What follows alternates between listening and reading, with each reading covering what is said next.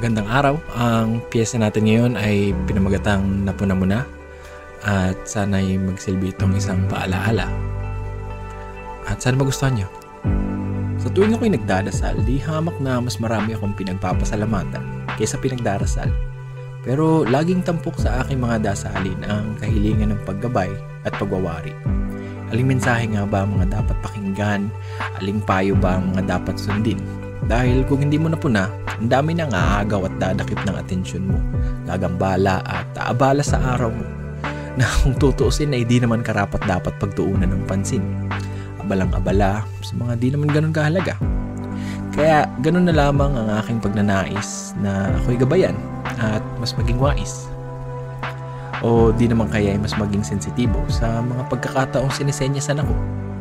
Dahil di naman nagte-text ang Panginoon mismo para tulungan ka sa tinitiis mo. At di rin siya tumatawag para payuhan ka ng bro. Wag. At ilang dekada na din naman akong naniniwala pero sa ngayon wala pa naman akong naririnig na tinig mula sa ulap na nagsasabing heto ang pakinggan mo. Nakausap tayo ng Panginoon sa mga paraang di natin inaasahan at tumutugon siya gamit ang mga anyang di natin mahuhulaan.